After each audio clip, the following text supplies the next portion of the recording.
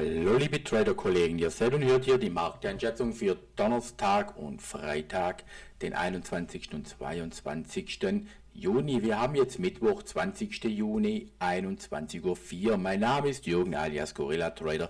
Ich bin privater Trader und Investor. Stopp bitte dieses Video, lässt diesen Risiko Risikohinweis. Meine Markteinschätzung sind keine Anlageempfehlung. Hier beginnen wir jetzt gleich mit dem ähm, Linienchart im DAX. Dann zeige ich euch ich habe auch gehandelt, das letzte Mal für die nächsten paar Monate, da will ich euch dann nicht mehr laufen, meine Handelsaktivitäten noch in den letzten zwei Tagen. So, wenn wir uns hier den Linienchart anschauen, sehen wir hier doch einen massiven Abverkauf. Ihr kennt meine übergeordnete Prognose. Weiterhin Short-Aktivitäten sind zu bevorzugen. Erholungen sind gewünscht und erwünscht, aber diese werden jetzt nicht unbedingt für Long-Aktivitäten genutzt, weil der Trend ist Short, handle den Trend und dann nimm auch überwiegend diese Trendpositionen auf. So, Linienchart sehen wir hier eine wirklich mickrige Erholung, eine impulsive Erholung, eine intensive Erholung schaut anders aus. Das ist eine Schwäche für den Markt, also hier ist momentan nicht viel da, was den DAX nach oben treiben könnte. Trotz alledem könnten wir die nächsten Tage in eine Korrekturphase zur Oberseite hin aus diesem Abverkauf hier äh, weitergehen. Aber das schauen wir uns dann jetzt nachher in den unteren Zeitebenen an. Zuerst schauen wir uns hier meine Handelsaktivitäten an. Ich habe hier komischerweise noch, obwohl ich diese Aktien verkauft habe, 12,95 Euro Dividende bekommen. Royal Dutch, weiß nicht, was das ist. Interessiert mich auch nicht, ich habe es bekommen. So, hier 19. Das waren gestern meine Handelsaktivitäten. Gekauft 1000 Zertifikate, verkauft 900, also immer Kauf für 1,31. Ich sage euch jetzt nicht hier mehr die Menge. Ich will euch nur damit zeigen, dass erfolgreiches Trading möglich ist, wenn man es wirklich konsequent nach einem Setup vorgeht. Und ich kann euch gleich sagen, hier die Trefferquote liegt von dem, was ich euch jetzt hier alles zeige, von diesen ganzen Trade bei, äh, bei 100%. Mehr geht ja nicht wie 100%. Also Kauf 1,31, Verkauf 1,35. Dazu will ich euch schon jetzt auch noch sagen, hier ist diese Positionsgröße 1000 Zertifikate das sind hier dann 40 Euro, hier sind es dann 50 Euro Gewinnkauf bei 33, Verkauf bei 38, hier sind Kauf bei 27, Verkauf bei 39 über 100 Euro. Hier habe ich dann versehentlich noch den mitverkauft, wo ich hier wollte eigentlich drin lassen für längerfristig Short. Dann hier gekauft bei 18, Verkauf bei 18. Das ist dann nicht so gut gelaufen. Hier gekauft 1000 bei 1,22, verkauft bei 26. Hier gekauft bei 23, verkauft bei 27. Das sind alles Calp Threads. Muss man wissen, das ist nichts Langfristiges. Auf diesem Depot haue ich eigentlich überwiegend meine, äh, also da zocke ich auch ein bisschen und meine langfristigen Aktivitäten habe ich auf einem anderen Depot hier äh, Kauf 23, Verkauf 27, hier Kauf bei 1,18, der Verkauf von diesen 1000 Zertifikaten wäre bei 1,28 und hier habe ich meine 1000 gestern Abend noch, oder ja, das, das sind wir schon beim 22.06., ne, sorry, hier ist das Datum, beim 19.06., gestern Abend habe ich dann diese 100 Zertifikate, die ich damals gekauft habe für 1,09, für 5,44 verkauft, habe mir hier einen Gewinn von über 400 Euro in die Kasse gespielt. Äh, hier ein Kauf bei 1,28, das war denn heute. Und dann, stopp, muss ich gerade gucken, Verkauf. Hier habe ich eine Position über Nacht aufgenommen mit 1000 Zertifikaten bei 1,18. Die habe ich heute Morgen dann gleich verkauft bei 1,28, wo der DAX zurückgekommen ist.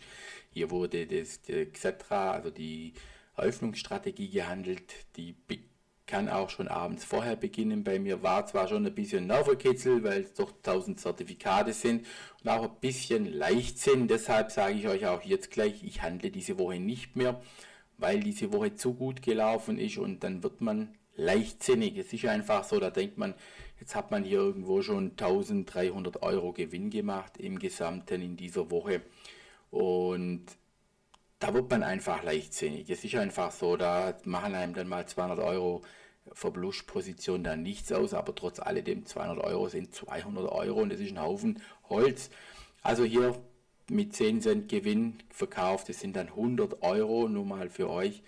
Hier dann äh, letzte und alles, muss ich auch nur dazu sagen, alles waren nur Short Trades. Hier ist kein einziger Long Trade dabei. Äh, gekauft bei 1,41.000 Zertifikate. Hier habe ich dann 900 davon verkauft bei 1,65 und den Rest habe ich gestoppt bei 1,40 weil ich eigentlich mir auch gewünscht habe, dass er doch nochmals tiefer läuft. Aber wir sind hier ja im DAX, nicht am Ponyhof an der Börse. Trotz alledem habe ich ihn sehr eng abgestoppt, weil ich, ihr werdet es jetzt gleich in der Analyse sehen, davon ausgehe, dass die Korrektur, wie schon im Linienchart hier erwähnt, doch noch leicht nach oben, langsam nach oben gehen könnte. So, das sind hier meine Aktivitäten gewesen. Alles positiv, 100% Trefferquote hier in meinen Scalp Trades auch auf meinem CFD-Konto, wo ich ab und zu auch noch handle, wenn ich jetzt ein bisschen kleinere Positionen sind auch alle zu 100% ins Ziel gekommen. So, gehen wir jetzt hin und schauen uns den Xetra Wochenchart an. Ich habe euch ja gesagt, wenn wir hier unten durchlaufen in der letzten Analyse, ist das für mich ein ganz klares Short-Signal. Dieses Short-Signal wurde ausgelöst, auch unter der Woche. Hier warte ich nicht auf den Schlusskurs, hier nehme ich das mit und drücke das Ding, würde das Ding eigentlich reindrücken. Ich habe hier meine Trades gemacht. Wir haben aber hier die Unterstützung der 38er Emma, die hat ihn jetzt einmal eingebremst. Man kann auch, wenn man so rüberschaut, hier diese Verlaufshochs sehen aus dieser Kerze dieses Verlaufs tief. Also auch hier haben wir doch eine Unterstützung natürlicher Art. Hier jetzt nicht unbedingt das 38er als ja gewaltsam herannehmen. Aber trotz alledem haben wir dann hier doch eine Kreuzunterstützung oder eine Mehrfachunterstützung, die ihn jetzt einmal eingebremst hat auf Wochenchartbasis. basis Dexetra Tageschart. Hier haben wir ja jetzt gestern ich mache es jetzt einmal andersrum. Ich gehe jetzt in den Stundenchart rein, dann wieder in den Tageschart, weil die Analyse war ja für gestern, gestern habe ich ja dann kein Video gemacht, dass wir hier, dass ich davon ausgehe, irgendwo muss er ja hier jetzt eine technische Reaktion zur Oberseite hin machen. Die hätte dann einen Zielbereich gehabt bis in diesem Bereich maximal bei 12.949. Die andere Alternative war, er könnte auch mit einem Gap zur Unterseite hin eröffnen. Dies hat er dann letztendlich gemacht, sogar sehr massiv, konnte dieses Gap, das hier sich geöffnet hat, bei 12.836 bis dato nicht schließen. Andererseits hat er heute dieses Gap, das sich hier gebildet hat, bei 12.679, das ist dieser Bereich, doch noch geschlossen, also mit einem sehr langen Zögern aber hat es zugemacht und deshalb verliere ich gerade ein bisschen den Faden. Äh, habe vielleicht den einen Hugo zu viel getrunken. äh, ja, ich wollte zurück auf den Tagesschart. Das wollte ich euch zeigen. Ja, die Analyse hier zur Oberseite hin. Oder er könnte auch mit dem Gap zur Unterseite hin eröffnen, was er letztendlich gemacht hat. Und wir sehen hier, haben wir doch einen sehr massiven Unterstützungsbereich, wenn dieser Unterstützungsbereich bricht, kann ich euch jetzt gleich schon sagen, dann wird heftig zur Unterseite hin. Also der DAX tanzt auf der Messerschneide. So, jetzt gehen wir zurück in den Tageschart. Im Tageschart, auch hier kommt wieder das Sprichwort, der DAX tanzt auf der Messerschneide. Wir haben hier die 200-Tage-Linie, die hier jetzt einmal ein bisschen nach oben, den, nach unten den DAX begrenzt hat. Wir haben zwar noch dieses bullische Signal sind aber vom CC im bärischen Bereich. Also tendenziell nach wie vor, wenn ihr hier den Tageschart seht, das hier ist der Fahrplan übergeordnet. Wir sind in dieser Geschichte Solomon Go Away. Äh, wir handeln Short, ich handle Short, was ihr macht, ist ja euch, ist mir jetzt eigentlich egal. Äh, ich handle Short nur Short, versuche hier langfristige Positionen reinzukriegen bis im Maximum 11.326. Das Fenster ist noch auf, dass dies möglich ist. Andererseits muss man ganz klar sagen, wenn dieser Bereich hier bricht, 12.547, nicht einmal nachhaltig, der muss nur brechen. Dann sind wir hier aus dies, unter diesen Unterstützungsbereich reingedrückt. Hier vermute ich einige Stops, die dann hier die Sache beschleunigen könnten zur Unterseite hin und hier bei 12.000 312 haben wir eine größere technische Unterstützung, die den DAX einmal eventuell einbremsen könnte. Aus diesem Bereich besteht sogar dann wiederum die Möglichkeit, dass wir hier auf neue Verlaufshoch steigen könnten. Das einmal hier so am Rande. Aber so weit sind wir ja noch nicht. Jetzt muss er erst einmal hier durchbrechen. Für die nächsten Tage denke ich eher eine, für eine Korrekt, bin ich eher für eine Korrektur, für eine sehr schwache Korrektur zur Oberseite hin. Andererseits muss man auch sehen, wenn er hier aus diesem Trendkanal rausfällt, dann sind die Dämme auf zur Unterseite hin und immer wieder dieses Strich, Sprichwort, der DAX kann dreimal, schnell, dreimal schneller fallen, wie er steigt. Und wenn wir hier diese Zeithorizont nehmen, geteilt durch drei habe ich ja schon ausgerechnet, sind wir hier bei 12. Das war dann hier irgendwo über diesem Zeithorizont sind wir ja äh, drüber, aber es steht ja nirgends geschrieben, dann fällt er halt mal viermal schneller, wie er steigt oder zweimal schneller, wie er steigt, je nachdem, wie das dann letztendlich passiert. Das wissen wir ja hier nicht im Voraus, was der DAX macht. Das sind ja immer nur Wahrscheinlichkeiten. Ich versuche es hier durch Charttechnik auf meine Art und Weise zu äh, äh, interpretieren und herauszufiltern, um hier für mich meine Vorgehensweise zu äh, einfach meine Vorteile aus dem Markt herauszuziehen. So, das hier Tageschart nach wie vor. Unterseite ist für mich prädestiniert. So, jetzt gehen wir rein in den Stundenchart. Und hier haben wir ja, wie schon erwähnt, eine Prognose gehabt zur Oberseite, die andere war ja, er könnte ja mit einem Gap zur Unterseite hin eröffnen, was er ja dann letztendlich gemacht hat. Bis in diesen Tiefbereich reingelaufen und jetzt kommt die Korrektur zur Oberseite. Die kommt und ist im Gange, so wie das Amen in der Kirche. Diese Korrektur schaut nicht dynamisch aus. Das hier ist eine dynamische Korrektur, die dann sich weiter fortgesetzt hat. Das hier ist eine dynamische Korrektur, die sich weiter fortgesetzt hat. Ich, wenn ich es nicht vergesse, zeige ich euch nachher noch ein paar andere Charts, um hier doch eventuell noch ein bisschen andere Anhaltspunkte finden zu können. Auch hier nehmen wir mal diese Kiste rüber aus dieser Abwärtsbewegung. Auch hier wäre noch die Möglichkeit, und das muss man dann aber auch als Unterstützung im Augenblick sehen, ein Zielbereich bei 12.516 wenn wir hier die Korrektur ausgearbeitet haben und dann nach unten weglaufen. Das war ja aus, die Kopie aus dieser Abwärtsbewegung. Die wurde hier jetzt auf einmal gemacht, also wäre rein logisch Korrekt, der Korrekturbereich, wenn man das hier jetzt fast 1 zu 1 übernimmt, hier aus diesem Tief heraus, jetzt sind wir ein bisschen höher, dann setzen wir das ein bisschen höher an, so da muss einfach mal so hinfrömmeln. Dann wäre hier der Korrekturbereich bei 12.787 und das würde hier dann auch passen.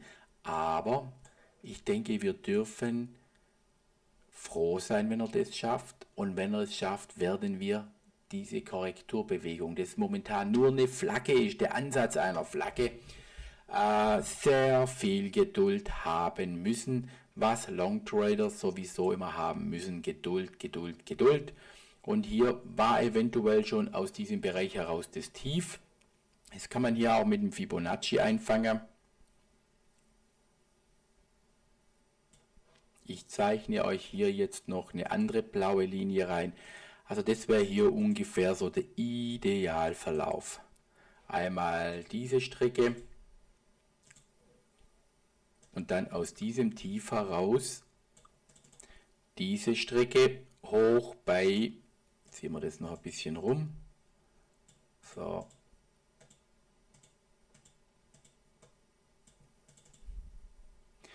hoch bei 12.821. Hier würden wir dann auch wieder die 200-Stunden-Linie mit dieser, auf, dieser, auf diesem Niveau kollidieren was hier momentan ein Widerstand ist, so wie hier. Wir haben sie nach unten durchbrochen. Wir haben nach auf Stundenchartbasis hier ein Verkaufssignal. Der CC ist momentan im mittleren Bereich. Der RSI wie immer momentan auch keine Hilfe, um hier eine Richtung vorzugeben. Rein technisch denke ich, werden wir hier eventuell mit einer dreiwelligen Bewegung zur Oberseite hin arbeiten und diese Korrekturen, das muss man einfach wissen. Für die äh, Vollblut-Short-Trader diese Korrektur kann gehen bis, jetzt setze ich das einfach mal hier oben an, bis in diesem Bereich im Maximum von 12.949. Das mache ich jetzt aber raus, weil das ist jetzt schon ein bisschen zu weit gedacht. Ich bin der Meinung, der Einschätzung, dass wir hier in diesem Bereich, wenn man hier die Kerzendichte sieht, wir haben hier von oben her eine Unterstützung. 1, 2, 3, 4, 5, 6, 7, 8, 9, 10, 11, 12, 13, 14, 15, 16, 17, 18, 19, 20, 19.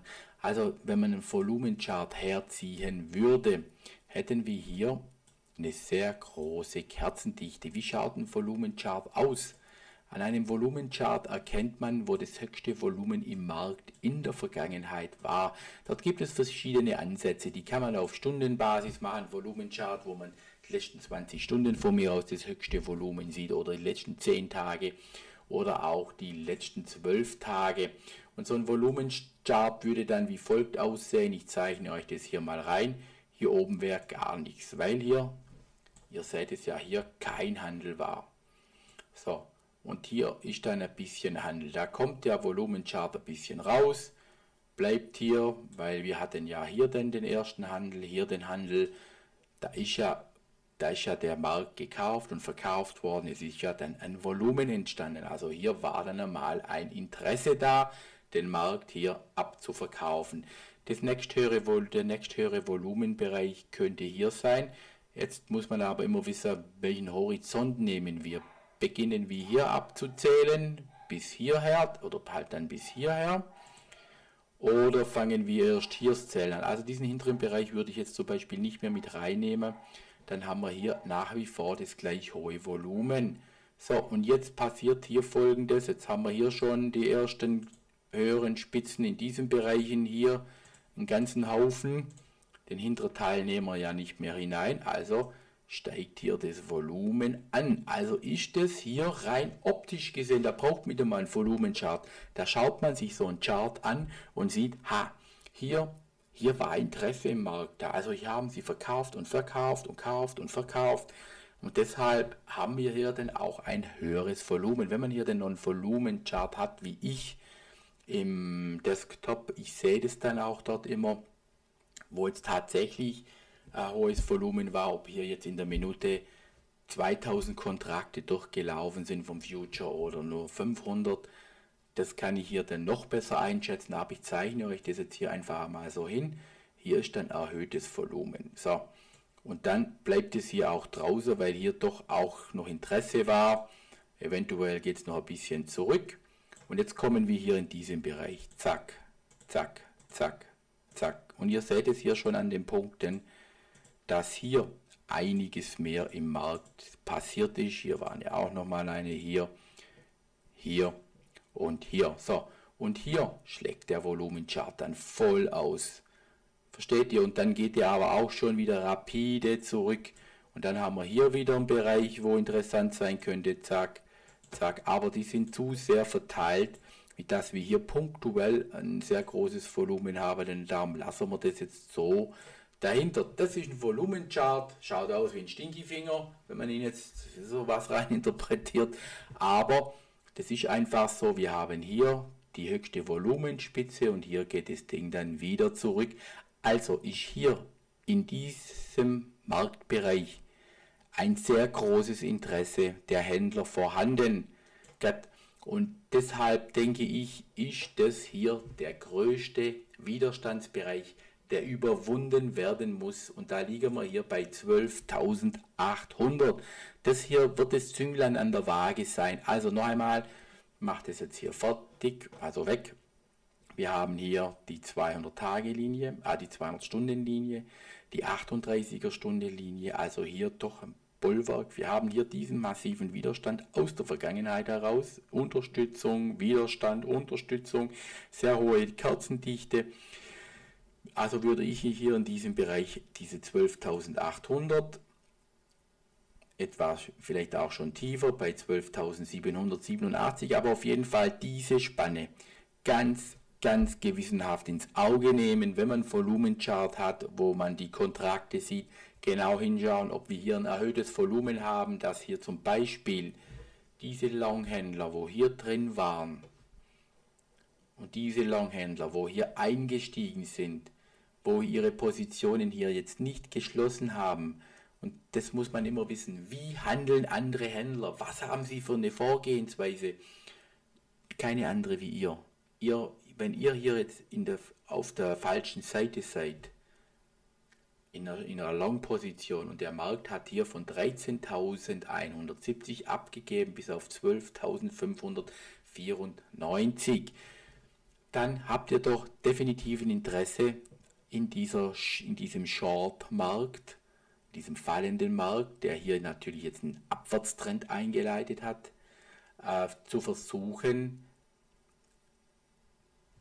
für den besten Preis noch aus dem Markt rauszukommen. Und dieser beste Preis, den man noch erzielen kann, ist einfach nun mal die 12.800. Das hier dann zu hoffen, dass wir hier in diesem Bereich laufen, das ist schon sehr mutig in dem Bereich von 12.955, was aber erst spruchreif wird, wenn wir hier über diesen Bereich von 12.845 kommen können. Dann ist dieser obere Bereich spruchreif. Solange gilt, machen wir hier eine Korrektur. Und hier in diesem Bereich, ich wiederhole mich, schaut dort genau hin, was der Markt macht, weil im Maximum, dann denke ich, geht es hier weiter abwärts. Da kommt dann der Impuls, wann das jetzt ist, ob das jetzt morgen Donnerstag ist oder am Freitag. Das kann hier auch zur Not sich sehr lange hinziehen. Wir wissen ja oft nach solchen Bewegungen, eins, zwei, drei impulsive Tage, tut der Markt dann eventuell sehr lange seitwärts laufen, dass wir hier eventuell in so eine Phase reinkommen. Wenn man jetzt diese, aus dieser Korrektur heraus das mache ich euch jetzt gerade auch noch einmal. Wir können ja nur aus der Vergangenheit lernen an der Börse und speziell hier im DAX. Der hat immer ein Eigenleben, das kann man oft gar nicht mit einer Aktie vergleichen. Wenn man das hier jetzt nimmt, zieht es hier hin und ich lasse das dann einmal hier drin. Komischerweise passen diese Hochs fast, diese Tiefs fast und wenn man das jetzt noch anpasst, weil es ein bisschen höher gelaufen ist und nimmt dieses Tief, hat es jetzt momentan auch gepasst. Gell? Aber ich ziehe das jetzt wieder zurück, lasst es so drin. Ihr müsst, wenn, ihr müsst es einfach immer versuchen, aus der Vergangenheit irgendeine Bewegung abzuleiten. Und der, der DAX macht sehr gerne identische Bewegungen. Ich kann euch noch ein anderes Beispiel zeigen, dass ihr das einfach einmal versteht, dass das so ist und dann die Wahrscheinlichkeit vorhanden ist, dass man hier erfolgreich handeln kann, wenn man sich dessen bewusst ist. Wir haben hier aus diesem Tief diese Bewegung zur Oberseite hin. Jetzt kopiere ich das und setze das hier hin, in diese Bewegung. Da haben wir den Zielbereich zwar nicht ganz erreicht, aber wir sind nahe dran gekommen. Gell? Wenn ich dieses Ding jetzt nehme und setze es hier hin, an dieses Tief, da haben wir diesen Zielbereich hier auf der Oberseite wieder erreicht. Also das sind fast identische A, B, C einfach Bewegungen zur Oberseite hin und deshalb gehe ich davon aus, dass diese Wegstrecke nach dieser Aufwärtsbewegung hier zumindest noch einmal hier landen könnte, aber erst wenn wir hier äh, bis in diesen Bereich maximal 12.800 korrigiert haben und es kann sehr zäh vor sich hingehen, also das kann dauern, das muss diese Woche nicht mehr passieren, Gell, eventuell kommt da auch noch morgen nochmal ein bisschen tiefer runter und läuft wieder seitwärts. Das ist einfach jetzt so. Da muss man Geduld haben. Hier kann man sehr viel Geld verlieren, wenn man das nicht weiß.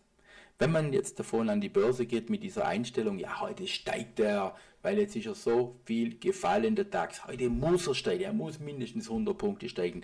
Leute, der DAX muss gar nichts. Dem DAX ist es scheißegal, ob ihr lang seid oder short seid. Der DAX macht, was er will, wie immer schon eh und je, seit dem 1. Juli 1989, seit er hier äh, gelistet ist, macht er, was er will. Das muss man wissen. Übrigens, 1. Juli 1989, äh, habe ich heute gelesen, ist der Geburtstag, 30-jähriger Geburtstag für den DAX. Ich kann mich noch sehr gut erinnern, 1900, da war ich noch schlappe, junge, 18 Jahre alt. Also ich wurde in dem Jahr dann schon noch 19, aber da habe ich schon an der Börse gehandelt damals, noch per Telefon, aus dem Auto raus, da hatte ich schon ein Autotelefon damals und habe hier äh, Warentermingeschäfte gemacht, äh, Gold und damals WTI-Öl und später dann an der Eurex Optionen gehandelt. Das einmal deshalb, weil ich das heute gelesen habe, mich das so in Erinnerung gerufen. Ich habe im Radio damals das erste Mal die DAX-Glocke gehört, wo da in Frankfurt an der Börse diese Eröffnung war. Vorher hat es das, glaube ich, gar nicht gegeben. Ich bin mir da jetzt gar nicht sicher. Aber da habe ich sie das erste Mal im Radio gehört am 1. Juli 1989. Das mal jetzt hier zum DAX. Der hat seinen 30-jährigen Geburtstag. Äh, so, also die Kernaussage von meiner Analyse ohne jetzt hier die üblichen Verdächtigen anzuschauen, die wir jetzt gleich anschauen, ist, dass wir hier eine zähe Korrektur bekommen könnten, die bis in diesem Bereich 12.800 laufen könnte und dann hier den nächsten Stich zur Unterseite hin. Andererseits sollte er hier zum Beispiel über die 200-Stunden-Linie gehen, ist es auch noch legitim für den DAX und spricht nicht dagegen, dass wir hier dann aus dieser Höhe ein neues weiteres Tief bekommen könnten. Gell? Auf der einen Seite sage ich immer, je tiefer der DAX fällt, umso höher kann er steigen. Je höher er steigt, umso tiefer kann er fallen. Das ergibt sich rein aus der Mathematik heraus, aus der Fibonacci-Lehre. Und da hat es wirklich Gewicht. Je höher er steigt, umso tiefer kann er fallen. Je tiefer er fällt, umso höher kann er steigen. Weil, das zeige ich euch hier jetzt im Gesamtbild, wenn er jetzt hier Hoch geht. Hat er nicht viel Potenzial zum Faller bis hierhin, würde er aber aus diesem Tief heraus bis hier steigen in den 12.950er Bereich, speichere das hier mal schnell, dann hätte er nämlich auch Möglichkeit, diese Abwärtsbewegung noch einmal zu machen bis in den Bereich von 12.345. Also deshalb kommt dieser Spruch, die wo die Fibonaccis beobachten, je höher er steigt, umso tiefer kann er fallen. Aus dieser Höhe kann man gar nicht rein mathematisch und recht berechnungstechnisch gar nicht tiefer fallen Wieso? aber aus dieser Höhe kann er so tief fallen, weil er hier einen ganz anderen Ansatz hat. Deshalb auch immer wichtig, verschiedene Zeitebenen zu beobachten. Also ich habe, wenn ich trade und scalpe, habe ich den 5-Minuten-Chart auf, ich habe den 1-Stunden-Chart auf, ich habe das Euro-US-Dollar auf und ich habe das Gold auf. Das sind für mich die wichtigsten Parameter, so die Renderscheinung sind den S&P und Dow Jones und dort zeige ich euch nachher auch noch was. Dort haben wir ja zurzeit wunderschöne Wolfewellen Short. Also hier muss man, sollte man eigentlich überwiegend Shorthandel betreiben in diesen zwei Indizes. Im, Indizes, im Nasdaq schaut es ein bisschen anders aus. So, sollte der DAX hier unter diesem Bereich fallen, warum auch immer, ziemlich schnell, also das wäre auch dann dieser Bereich, bei 12.548 sind dann ganz schnell dieses 61er Fibonacci spruchreif bei 12.284, aber wir sind jetzt hier mal im Donnerstag und Freitag, den Wochenausblick gibt es dann wieder am Sonntag. Wir werden hier meiner Meinung nach eine zähe Korrektur sehen zur Oberseite hin die nicht handelswürdig ist. Außer man ist jetzt hier schon reingekommen und hat hier ein gutes Sitzpolster. Schaut euch das an. Das ist nicht handelswürdig meiner Meinung nach. Ich habe hier meine Long-Versuche gestartet. Erfolgreich habe ich euch ja gezeigt an meinem Live, an meinem Echtgelddepot. Und äh, hier ist meiner Meinung nach, es ist nicht würdig, das Ding hier long zu handeln, weil es jederzeit, jederzeit rein, wenn man jetzt momentan die politische Situation anschaut, diese fundamentale Geschichte mit USA, Trump, Strafzölle, die sitzen hier wirklich auf Kohlen, auch wenn man, und da gehe ich jetzt rein in den VDAX, wenn man auch hier vom VDAX nicht davon ausgehen könnte, dass hier irgendwo was ist. Ich weiß nicht, was da noch alles passieren muss. Und ich kann, schaut in meiner Videoliste KW10 an, ich kann euch immer wieder nur auf dieses Video verweisen, das ich vor drei Monaten gemacht habe und darauf hingewiesen habe, wo das hier mit diesen Strafzöllen so sich das erste Mal im Raum gestanden ist von den USA auf Stahl aus Europa. Lest dieses durch, schaut dieses Video an, macht euch ein Gesamtbild. Ich male den Teufel nicht an die Wand, aber es ist ein langer Prozess. Wenn ihr diesen Artikel lest, was in den 20er Jahren passiert ist, wir hatten eine gute Wirtschaft, es ist gut gelaufen. Die haben dann aus Übermut Strafzölle gemacht damals in einer wirklich guten Marktphase, weil der eine oder andere gedacht hat, er muss noch mehr haben oder er kommt zu kurz, wie die USA momentan das Gefühl haben, das hört man auch an den Aussagen von Trump und er wird ja von einem Großteil der Bevölkerung, auch wenn es hier in Europa nicht den Anschein hat, er wird aber vom Großteil der Bevölkerung befürwortet für seine Vorgehensweise. Es ist einfach so, das muss man wissen. Und aus dem Nichts ist dann hier dieser Einbruch gekommen. Aber es hat immer noch zwei, drei, vier Jahre gedauert. Also, wir sind jetzt am Anfang. Also kann das jetzt immer noch zwei, drei, vier Jahre gut laufen. Boomphase. Die Unternehmen haben noch volle Auftragsbücher die nächsten sechs Monate und es wird auch sukzessive immer ein Monat mehr werden. Also wir werden diese sechs Monate immer vor uns herschieben, trotz alledem, wenn auch seit drei Monaten negative Nachrichten auf uns einprallen. Wirtschaftsrückgang, Wirtschaftsleistungen geht zurück. Auftragseingänge gehen zurück, aber wir sind auf einem sehr hohen Niveau. Das muss man einfach wissen. Ich arbeite im Bau der Bauboom erhält an, die graben immer noch neue Löcher zum Zubauer. Selbst der kleinste Fensterbetrieb baut an, wo du nie gedacht hättest, dass er baut, aber er baut einfach, gräbt ein Loch aus und wenn selbst nur 200 Quadratmeter mehr Produktionsfläche ist, das alles in allem summiert sich ja und kurbelt die Wirtschaft an.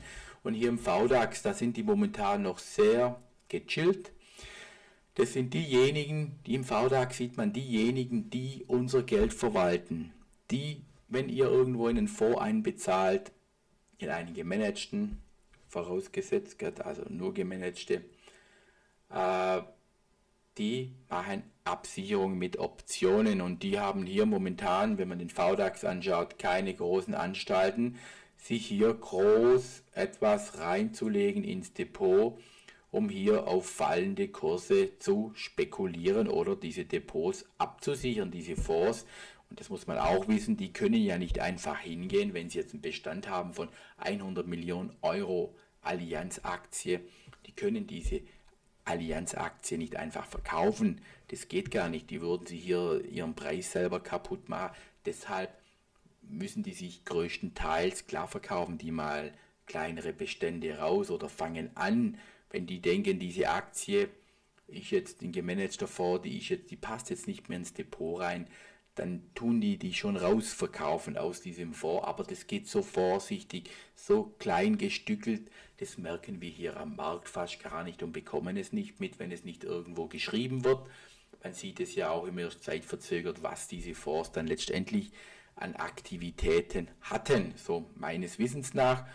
Und die können sich nur oder überwiegend mit Optionen absichern. Das ist wie eine Autoversicherung für die, die investieren Geld mit dem Risiko, dass der DAX dann doch steigt, wenn sie hier Put-Optionen reinnehmen.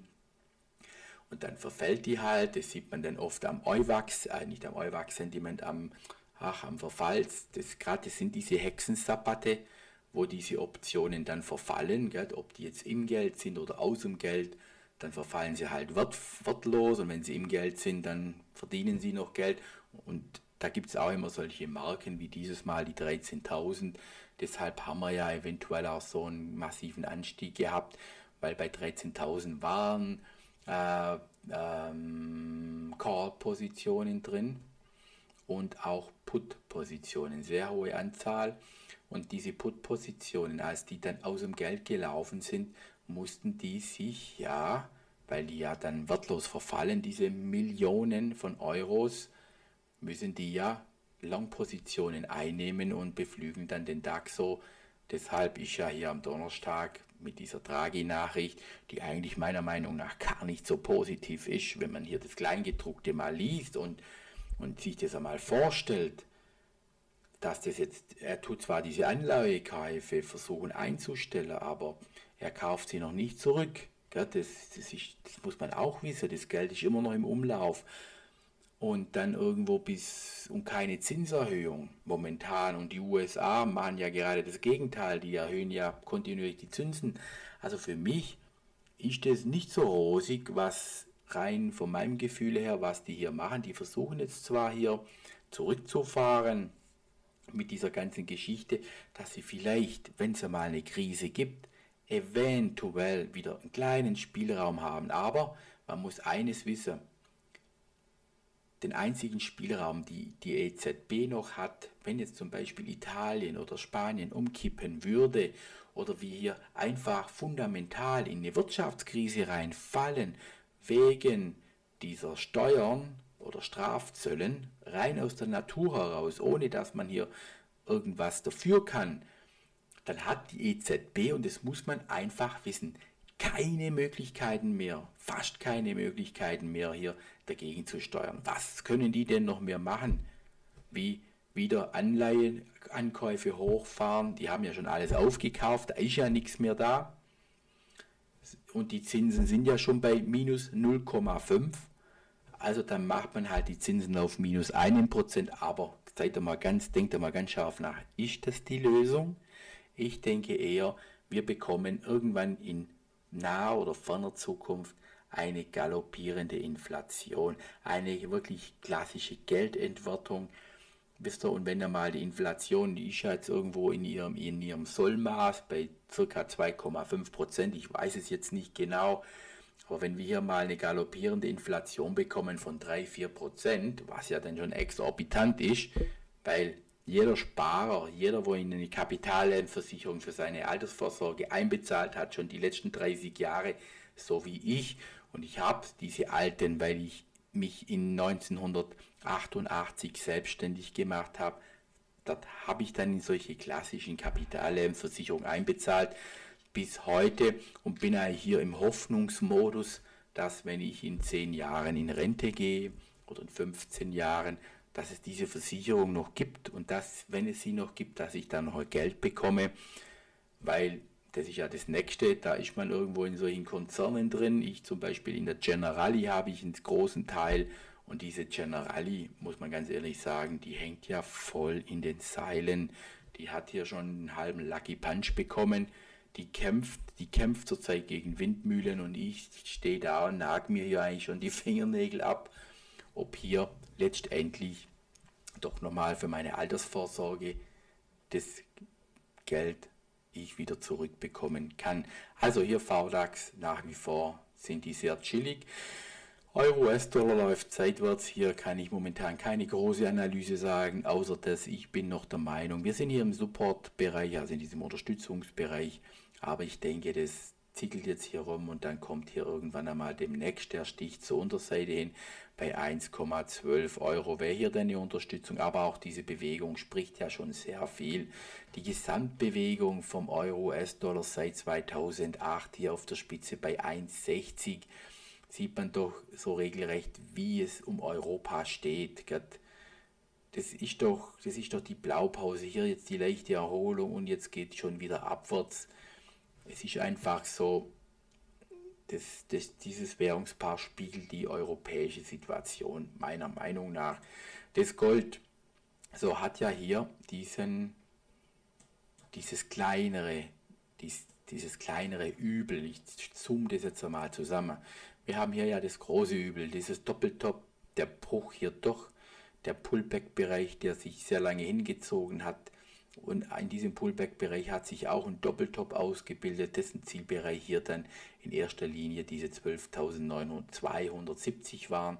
Die wurden dann doch sehr rasant dann angelaufen, nur hat er hier dieses große Doppeltop und meiner Meinung nach ist es nur noch eine Frage von Zeit, von Tagen, von Wochen auch, bis wir hier in den Bereich von 1237 kommen könnte. Andererseits denkt jetzt der eine, oh, das sind dann bestimmt gute Kaufkurse für Gold. Es gibt keine guten Kaufkurse für Gold. Gold ist immer gut, wenn man es hat.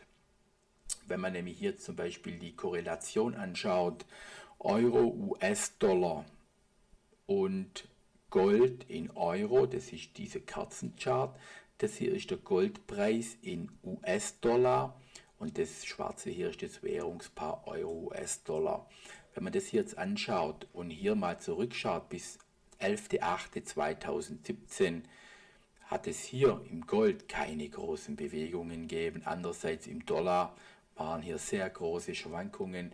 Also auch historisch gesehen zurückwirkend, wo wir hier ja fast bei 2000 Dollar waren im, im, im Gold, waren wir hier bei, bei, beim Gold in Euro lange ja nicht so hoch. Wir sind ja erst drei Monate später mit dem Fall des Währungspaar Euro-US-Dollars haben wir ja im Euro-Korrelation, also umgerechnet, den Höchstkurs gehabt und haben prozentual nicht so viel verloren wie das Gold in Dollar. Also hier hat sich dieser Preis die letzten Jahre doch relativ stabil gehalten. Wir tendieren hier, ich meine, irgendwo bei 1300 rum und der Höchststand war mal bei 1600 in etwa. Das war mal hier nur 300 Dollar. wenn man bedenkt, wo das Gold herkommt, von fast 2000 und steht hier jetzt bei 1300 irgendwo, ist das schon eine ganz 1270 ist das dann schon eine ganz andere Hausnummer. Also hier nach wie vor für mich der Preis hier unten, der ist gesetzt, die 1238 dann einfach mal schauen, was das Währungspaar us dollar macht, um hier eventuell in Euro Gold nachkaufen zu können. Andererseits, wenn ich diese Gesamtbewegung hier anschaue und hier rüber schaue, kann ich mir auch gut vorstellen, wir haben diese Bewegung hier, ich zeige euch das einmal, unter das 61er auskorrigiert. Und wenn man das hier so rumzieht und oben ansetzt, haben wir hier doch auch die Möglichkeit, sogar bis in den Bereich von 1216 zu fallen. Gut, der eine oder andere würde sagen, ja, Europa brennt wieder, gell, Italien, Gold ist doch alternativlos. Ja, Gold ist alternativlos, gebe ich vollkommen recht. Es ist immer gut, etwas im Depot zu haben. Große Stückelungen, kleine Stückelungen, gell, ich bin ein Freund von einfach durchmischen. Und wie gesagt, da muss man dann schauen, wenn es hier ist, es ist schon mal ein gutes Zeichen, wenn das Gold keine Nachfrage hat, weil dann muss es ja irgendwo doch nicht so brennen in Europa, wie man hier momentan mitbekommt, wieder mit Italien. Dann sind die hier auch ziemlich chillig und dann kann der Goldpreis meinetwegen munter weiterfallen. So, und das ist normalerweise positiv für den DAX, nur momentan nicht. Gold fällt, Euro, US-Dollar fällt, der DAX fällt. Jetzt müsst ihr auch wissen, diese Korrelation hat sich momentan komplett ausgehebelt. Nicht beachtenswert. Es gibt wieder Marktphasen, da funktioniert es wunderschön. Es gibt Marktphasen wie zurzeit, da fällt alles. Also braucht man das nicht zu beobachten. Das WTI-Öl ist auch momentan hier stabil, läuft seitwärts. Für mich nach wie vor eher arbeitet es hier zur Unterseite hin. So, jetzt haben wir hier die üblichen Verdächtigen angeschaut. VDAX ist chillig, also normal für steigende Kurse. Äh, Währungspaar Euro US-Dollar, meiner Meinung nach könnte weiterfallen, sollte eigentlich auch positiv sein für den DAX. Natürlich vorausgesetzt, es passiert. Gell? Wenn das natürlich nicht passiert, dann tritt das Gegenteil ein. Das Gold fällt auch weiter, das WDI, Öl hält sich stabil und wir haben ja gerade gesagt, diese Korrelation kann man zurzeit aushebeln, die funktioniert nicht, also kann ich mit denen momentan in meiner Analyse nichts anfangen. Schauen wir hier den DAX neu an. Dieser DAX neu war ja, ich habe euch ja gesagt, wenn wir so enge Spannen kriegen zur Seite hin, ist das wie wenn man hier ein Matchbox-Auto ansetzt mit einer Feder, spannt diese Feder und irgendwann geht es nicht mehr. Dann muss man dieses, lässt man dieses Matchbox-Auto los und dann explodiert es entweder nach oben oder nach unten. In diesem Fall ist es nach oben und dann noch recht massiv nach unten zurückgekommen. Hat es eine Kurve gemacht, das Matchbox-Auto weiß ich nicht. Das hier war geschuldet der Draghi-Sitzung EZB. Die hat hier den Impuls gegeben und die Stillhalter mussten hier dann, weil am Freitag der Hexensabbat war, meiner Meinung nach, aber in dem, im Nachhinein hat man immer eine Lösung oder eine Antwort parat, was dort hätte sein können. Im Grunde spielt es keine Rolle mehr, weil hier ist der Markt gelaufen. Der, der aus dem Markt profitiert hat, Chapeau, in Ordnung, der hat gewonnen. Der, wo hier Geld verloren hat, Pech gehabt. Ein anderes Mal hat man eventuell wieder mehr Glück, weil Glück gehört einfach auch dazu an der Börse. Also hier haben wir Momentan, wo der DAX hier heute sein Tief hatte, doch einen größeren Unterstützungsbereich, wenn man hier so rüberschaut. Ich habe das euch vorher gezeigt mit diesem Volumenchart. Also hier ist auch eine größere Kerzendichte. Hoch, hoch, hoch. Hier ein Verlaufshoch, Wochenhoch, Wochenhoch, Wochentief, Wochentief, Wochentief, Wochentief. Also wenn man hier so eine Ellipse reinzieht, könnte das ein interessanter Bereich werden. Vorausgesetzt, der Markt weiß das hier noch. Auch der Markt ist immer, ja, hat ein Verfallsdatum. Das kann sein, den interessiert das ja auch schon nicht mehr. Der schaut jetzt nur hier in der Markt und schaut diese Tiefs an und denkt, naja, wenn das hier jetzt bricht, dann ist Land unter. Das mal hier aus diesem Chart heraus. So, hier die Lang- und Schwarz-Indikation. Wir haben hier mal eine bullische Kerze bekommen, ein Doji zur Oberseite hin. Aber wie schon erwähnt, ich gebe dem hier zögerliches Anziehen zur Oberseite hin und auch hier sieht man, die 200-Tage-Linie war dem geschuldet. Einer hat mich gefragt, ob ich in einem Fonds hätte, wo diese 200-Tage-Linie handelt. Wo habe ich das denn? Also ich kann dir mal jetzt so einen, äh, eine WKN-Nummer geben, gerade falls du das Video hörst. Ach, die habe ich jetzt hier nicht.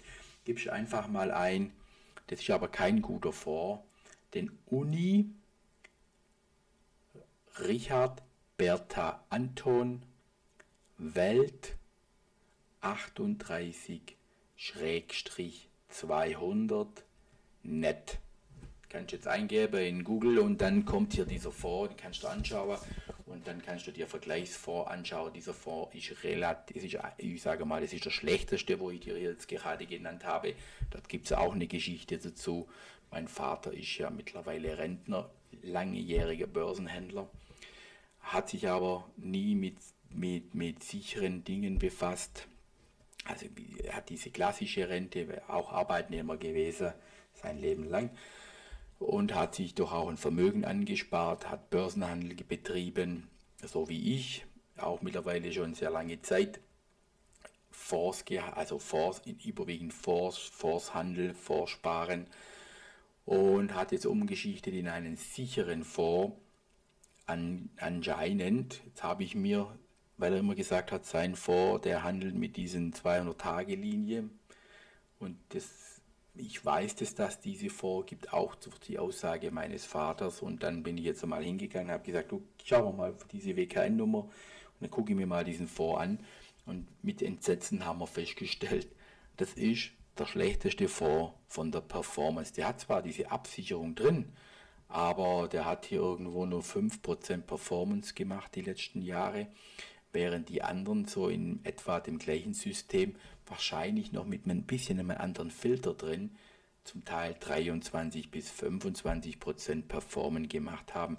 Das ist einfach ein Fonds, der, wenn, wenn hier bei diesem, wo ich gerade genannt habe, wenn die 38er, komischerweise, ich wusste das ja gar nicht, Komischerweise haben die auch diese 38er MA drin. Wenn die auf Tageschartbasis gekreuzt wird, gehen die raus aus, aus, aus, aus den Aktien und gehen in Geldmarktfonds oder auf Geldmarktkonten über. Dann siehst du hier in dem Forum den Chart nur gestriegelte Linie, also keine Bewegung weder nach unten noch nach oben. Das habe ich jetzt noch nicht ganz begriffen. Das jetzt einmal zu diesem Fonds, aber das will ich jetzt hier nicht tief vertiefen. Jetzt gehen wir rein in die Prognose. So, die Prognose ist nicht anders, wie ich gerade so im Xetra gesagt habe. Äh, wir haben hier bei 12.000 bei 12.000 beginnend 12.783 bis hoch 12.812 massiven Widerstand meiner Meinung nach. Hier haben wir die höchste Volumendichte das würde hier dann so aussehen. Aber wenn er hier runterfällt, ist dann doch die Fallhöhe nicht so hoch. Da würde ich dann einmal wieder hier in diesem Bereich vorsichtig werden. Das wäre jetzt hier für Donnerstag, Freitag. Sollte der DAX allerdings, wovon ich ausgehe, zwar noch nicht jetzt, aber irgendwann einmal in naher Zukunft unter diesem Bereich fallen, dann sind ganz schnell diese 12.000, also dieser Bereich, dieses 61er Fibonacci Bonacci, 12.266 möglich. Mehr gebe ich diesem DAX hier zur Oberseite hin im Augenblick nicht. Diese Widerstände, fallende 200-Tage-Linie, die 38er muss erst einmal überwunden werden, um dann hierher zu kommen. Sollte er aber trotz alledem diesen Bereich durchstoßen, dann ist gut und gerne auch diese 12.955 möglich. Das muss man einfach auch ein bisschen im Hinterkopf haben. Ich habe mich zwar jetzt immer reingeschortet, habe hier jetzt aber die Positionen, ich bin jetzt ausgestoppt worden heute Abend noch mit den letzten 100 Zertifikaten, sehr eng abgestoppt, weil ich einfach damit rechne, dass der nochmals da hochläuft und da muss ich ja jetzt nicht unbedingt diese Position, diese 100 Zertifikate, das ist ein CFD, hier hochschleppe, lieber haue ich hier dann wieder rein und versuche hier den langen Weg dann nach unten gehen zu können. Also nach wie vor übergeordnet. Die Geschichte Sollen My and Go Away, die ist spruchreif, die ist da, Gott getreu. Und hier haben wir einfach dieses Ziel, die 12,295. Wie er dann hier drin läuft, habe ich ja immer gesagt, das ist, das weiß ich auch nicht, Gott, aber primär ich von hier oben nach hier unten das Ziel und primär übergeordnet sind meine Trades Short, wo ich versuche die Positionen reinzubekommen, weil es gibt auch noch einen anderen Chart und da gehen wir in die Jahresendrallye rein, weil der Fokus liegt jetzt, wie gesagt, auf diese, auf diese Verkäufe. Und wir haben hier ohne weiteres Luft bis zum 29.08., sage ich jetzt einfach einmal Ende August, Anfang September wo wir hier dann uns rüsten, vorbereiten für die Jahresendrallies. Und die kommen immer so in der gleichen. Es gibt noch diese kurz vor Weihnachten, dieses Windows-Dressing. Das interessiert mich aber nicht. Da geht es um ein paar Punkte, weil der eine formal denkt, der muss jetzt hier noch schnell äh, von eine Million Allianz-Aktien reinnehmen, weil die gut gelaufen sind. Apropos Aktien, da habe ich euch auch noch eine sehr gute. Also ich denke, gefühlsmäßig müsste, aber ich bin noch nicht investiert, darum darf ich davon reden oder rede ich da so frei. Ich werde mich, wenn diese Geschichte hier durch ist, aber die zeige ich euch jetzt gleich, eine hochinteressante Aktie, kennt ihr bestimmt alle schon. Und in dieser Aktie sehe ich gigantisches Potenzial zur Oberseite in mehrere hundert Prozent die nächsten Jahre. So, hier die Jahresendrallye ist also, wenn man das hier so anschaut, 29.8. hat sie hier begonnen, hier am 27.9., also Ende September, hier am, am 25.9., hier am 15.10., 6.9., 15.11. Also es sind so diese Phasen und da, da, ist der Blick dann nur gerichtet, wo könnte das Tief sein, wenn ich jetzt diese Strecke hier nehme. Ich zeichne das jetzt ganz freche mal einfach hier rein, wo ich mir hier jetzt das Tief vorstellen könnte. Im Maximum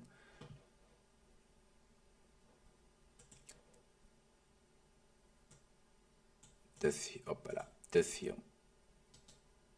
So, und den lasse ich so drinnen Strich.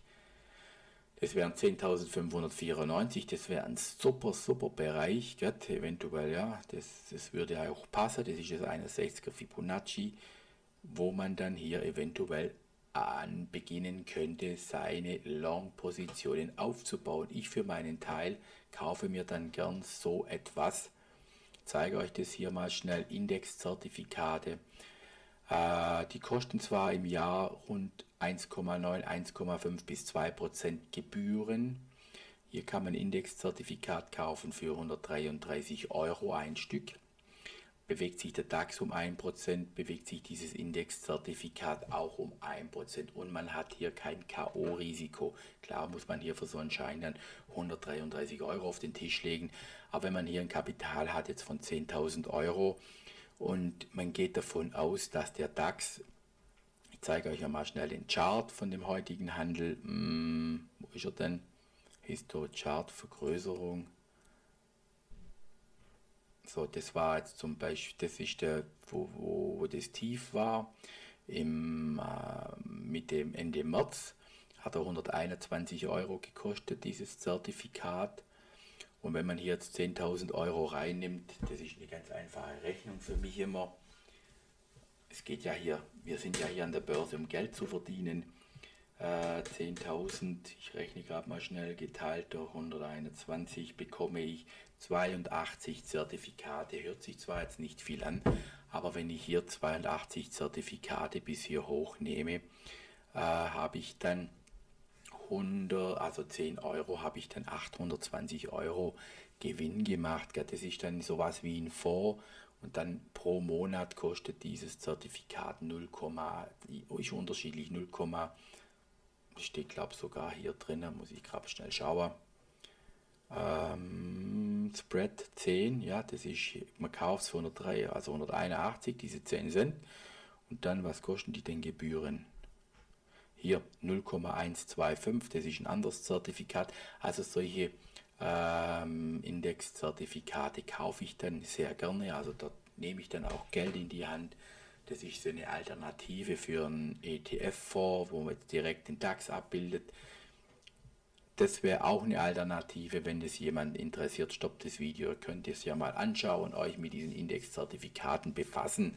Die kosten halt eine Stange Geld und man braucht hier doch das nötige Kleingeld in der Hand, Hinterhand, um hier doch auch eine schöne Strecke oder ein schönes Paket einkaufen zu können.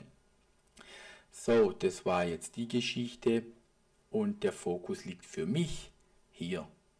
Einfach jetzt auf fallende Kurse und dann das Tief irgendwo zu fischen für den Rest des Jahres. Und wann der kommt, Ende August, Anfang September oder auch wir haben hier sogar den November drin, 15. November, Gott, hier war es der 31.05. Das ist, das ist jetzt nur ein Chart für diese Rallyes, wann die beginnen könnten. So, jetzt habe ich wieder sehr viel geredet. Eure Geduld beansprucht. Jetzt zeige ich euch noch Dow Jones, die Wolfe Welle Short. So, die habe ich euch schon länger gezeigt. Und mal, wir haben die 1, die 2, die 3, die 4, hier ist die 5 die ist jetzt nach unten durchgefallen. Wir arbeiten unter der 38er das ist negativ zu sehen. Der RSA, also der CCI ist im bärischen Bereich auch negativ zu sehen. Für mich diese Korrektur, hier haben wir das 1, die 2, diese Korrektur kann jetzt schon reichen und morgen, wenn wir hier unter die 12, 14, 6, 39 fallen, kann das sehr rasend gehen hier in den Take-Profit-Bereich dieser Wolfewelle. Die hat noch eine Lebensdauer bis zum 9.7 hat er noch genug Zeit, um hier unten aufzuschlagen im Bereich von 13.074. Deshalb auch prädestiniert und überwiegend den DAX Short zu handeln. Dann haben wir hier noch die, den SP, auch der hat eine Short-Wolfe drin. Das ist die hier, die sieht ein bisschen, das sieht der SP-Chart noch ein bisschen positiver aus wie der DAX. Der heutige Tag war besser. Jetzt aber letztendlich auch hier gilt, sollte morgen ein Kurs unter 2763 erscheinen, jetzt muss ich kurz den Lautsprecher ausmachen. So, jetzt musste ich niesen. Gut, äh, unter diesen 2763 erscheinen ist das ein Short-Signal. Hat hier zwar noch Unterstützungen drin, aber das wäre dann schon einmal ein Versuch mit Stopp hier oberhalb bei 277 oder dann hier letztendlich oberhalb dieser 2,793. Das muss jeder mit seiner Positionsgröße ausmachen. Aber was er nicht tun dürft, und das sage ich euch immer wieder, ihr dürft nicht die Positionsgröße berechnen auf diesen Stopp. Gut, hier dürft ihr von mir aus laut eurer Rechnung 10.000 Zertifikate nehmen und dann dort oben ausstoppen lassen, habt ihr 1000 Euro verloren. Wenn ihr denn euren Stopp für das da oben berechnet, dann dürft ihr nur 5000 Zertifikate nehmen und dann verliert er dort oben auch 1000 Euro. Was er nicht tun dürft, sehen, wenn der Markt dann hierher kommt, euren Stopp hier hochsetzen und nicht zu akzeptieren, dass er hier 1000 Euro verliert, weil wenn ihr Pech habt, kommt er dann hierhin, holt euch dort ab, dann habt ihr 2000 Euro verloren. Basta, aus, die Fliegenklatsche und dann fällt der, fällt der S&P. Das ist, das ist eine Grundregel an der Börse. Ihr berechnet euren Stopp gemäß eurer Kontogröße Ihr dürft mich gerne fragen, ich kann es euch jetzt hier im Video nicht bis im Detail erklären, wie man hier vorgeht. Und das müsst ihr machen wie eine Maschine. Ihr müsst ticken wie eine Maschine, wie ein Roboter. Einfach zack, zack, zack, zack, zack. Und nichts akzeptieren. Wenn das Ding gegen euch läuft, raus. Selbst sogar hier in unteren Zeitebenen. Dann beobachtet auch, wenn ihr den Stopp hier oben habt. Und lieber mal hier unten sagen, hm, es läuft jetzt gegen mich, da ist ein Umkehrsignal, gehen wir raus es, das, ist okay, an Gewinnmitnahme ist noch niemand gestorben, aber an Verlustmitnahme, an einer Nicht-Verlustmitnahme sind schon viele gestorben und an der Börse zählt ja nur eins zu überleben jeden Tag. Also S&P hat hier eine wunderschöne Wolfewelle. Ich rechne damit, dass die die nächsten Tage hier durchbricht und auch hier den Take-Profit-Bereich bei 2644 in diese Tangente hier eintreten könnte. Ansonsten Momentan, der, ah, die Aktie will ich euch noch zeigen. Momentan der Lithiummarkt, der schläft. Ich habe hier jetzt doch einige verkauft, meine Aktien. Äh, einige habe ich noch drin. Die Plateau Uranio hatte ich leider verkauft hier in diesem Bereich. Ich komme hier von da unten irgendwo und hier habe ich dann verkauft, um dann traurigerweise sehen zu müssen, wie diese so gnadenlos anzieht vermutlich wegen dem Uranium, wo hier auch gefordert wird. So, jetzt habe ich euch eine Aktie. Also das ist für mich die Zukunftsaktie. Mal mit sehr hohem Potenzial. Zukunftsaktie jetzt nicht unbedingt, aber ich sehe in dieser Aktie ein gigantisches Potenzial. Diese Aktie hat es jetzt fertiggebracht, in dieser negativen Marktphase nicht zu fallen. Es ist ein deutsches Unternehmen, die Siemens, diesen Namen hier kann ich jetzt nicht aussprechen, Held, Heiners, Held Heiners, ja. Diese Aktie hat es fertiggebracht, trotz fallender Kurse hier positive Tage zu generieren. Sie ist noch nicht lange auf dem Markt. Sie wird jetzt im TechDAX gelistet. Ich glaube auch ab nächsten Monat. Ich habe es jetzt noch nicht gesehen im TechDAX.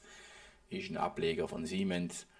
Und wenn ich diesen Chart jetzt nehme, junges Unternehmen, Tech-Unternehmen und setze ihn hier hin, da, ganz unten hin und nehme hier meinen Zeichenstift und träume mal ein bisschen.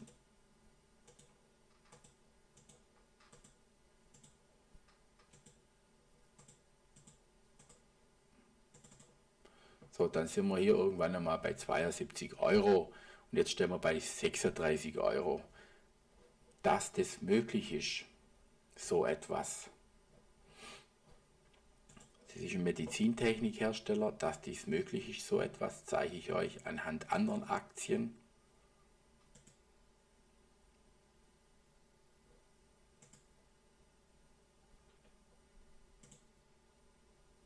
Auch im TechDAX vertreten. Dann nehmen wir mal nur die Nemetschek nimm Jack oder nehme Jack. Schaut euch diese Axia Softwarehersteller für Architekten 2002 31 Cent. Leute, wenn ihr hier für 1000 Euro 31 Cent diese Aktie gekauft hättet und heute 104 Euro, 113 Euro in der Spitze, wenn man so lange gehalten hat, mei, hat man schönes Geld verdient. Die Spanne ist zwar lang, über, ja, über 15 Jahre mittlerweile. Aber trotz alledem hätte man hier ein schönes Geld gehabt. Das ist, ist einfach so. Äh, es gibt noch andere Aktien, die, die, die Wirecard zum Beispiel. Die geht ja zurzeit ab durch die Decke. Wo ist jetzt die drin im MDAX?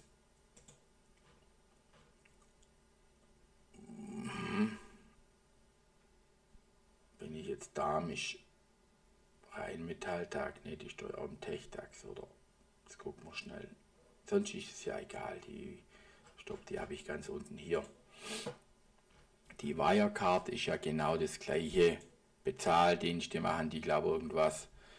Ich kann, weiß jetzt nicht genau, also was sie machen, weiß ich, aber ich weiß das Wort jetzt nicht dafür.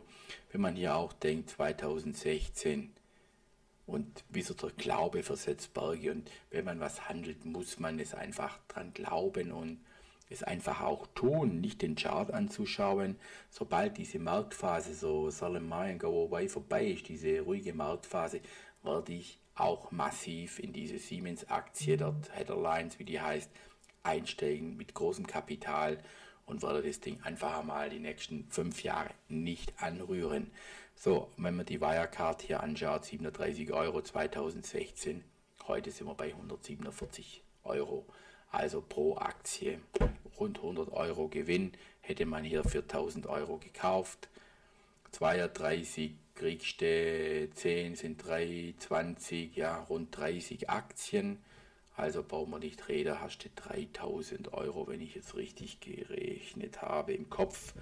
Der ist jetzt um 22 Uhr auch nicht mehr. Äh, ja, 3000 Euro, auch ein schönes Geld, nur weil man 1000 Euro investiert hat. In diesem Sinne wünsche ich euch einen schönen Abend, eine schöne Restwoche. Wir hören uns dann wieder zum Wochenausblick für die nächste Woche.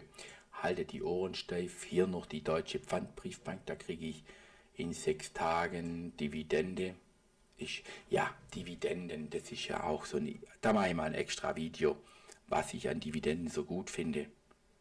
Gut, in diesem Sinne, ciao, ciao.